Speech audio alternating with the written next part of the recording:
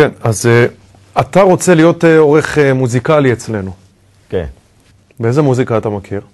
אני מכיר... כן, אבל מוזיקה ישראלית נניח? ישראלית אני לא... לא מכיר. אני מכיר... are you ready?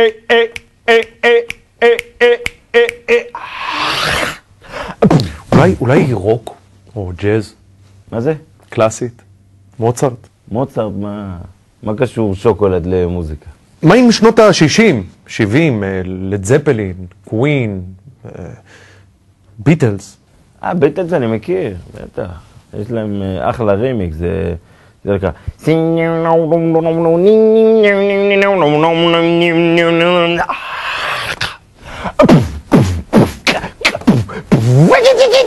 כן, כן, כן, כן, אה, אולי, אה, אולי אה, אה, בריטני ספירס, אה, ריאנה, מדונה?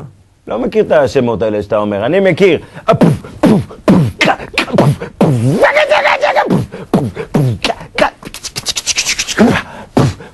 הבנתי, הבנתי, הבנתי. בסדר גמור. אני שמח להודיע לך שהתקבלת בתור העורך המוזיקלי של חדר הכושר שלנו. תודה, מזל טוב. תודה. אתה יכול להתחיל מעכשיו?